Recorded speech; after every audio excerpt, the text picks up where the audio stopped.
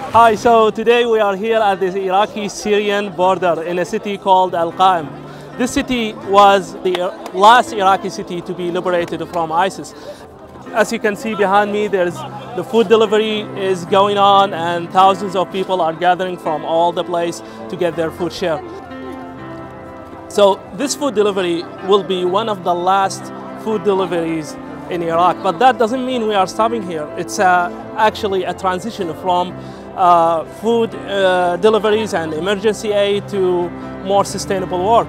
Um, provide people with jobs, income, medical care and education. So I wanted to thank you for everything you have done here since the beginning of the problem. You were with us and we hope you continue with us with your love and kind and generosity. Thank you so much.